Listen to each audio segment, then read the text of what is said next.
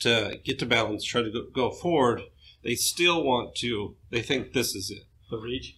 So yeah, so it's a reach and tilt, and you can see the breakdown right here, and you see the shoulder line, you see the hip line, um, and we come off the back side. So we'll get them in a setup. I'll let them get in a setup. I'll say this is your head, this is your spine, and so we're here. And I said I want you to move your head and spine to here. And for some reason, this visual, they get this, so then they'll take their move right to here. I said, well, that's where you need to get to. That's your balance point.